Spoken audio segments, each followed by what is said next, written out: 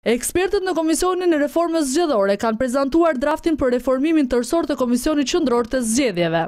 Projekti ka risi goxha të mëdha dhe sanksionon përfundimisht që partitë politike heqin duart nga zgjedhjet.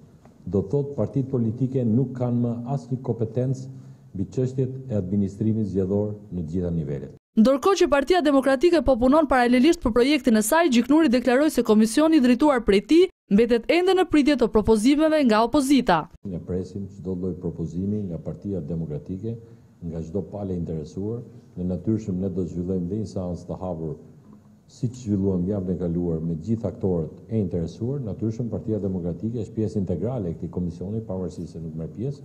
Por a do të ketë maxhoranca konsensusin e opozitës parlamentare për ta miratuar reformën zgjedhore? Një pjesë e opozitës i shërben Partisë Socialiste dhe në të gjitha votimet që ne kemi qenë në mënyrë unanime që për të mos i votuar disa ligje, dhjetë, pesëmbëdhjetë deputetë prej tyre kanë dalë hapur, që do të thotë, Mazhoranca shtatëdhjetë e tetë deputet i ka edhe mbi dhjetë të tjerë me fjal i plotëson.